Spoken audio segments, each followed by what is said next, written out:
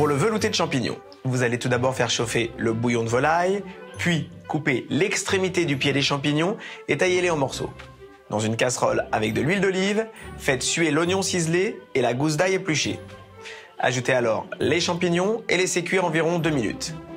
Ensuite, versez le bouillon, couvrez et laissez cuire environ 5 à 6 minutes. Il ne vous reste plus qu'à mixer le tout afin d'obtenir une consistance de velouté assez épaisse. Enfin, ajoutez un peu de crème fraîche et assaisonnez.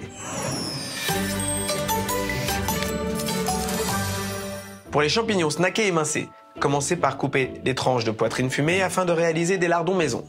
Faites-les alors revenir à la poêle et débarrassez-les sur du papier absorbant.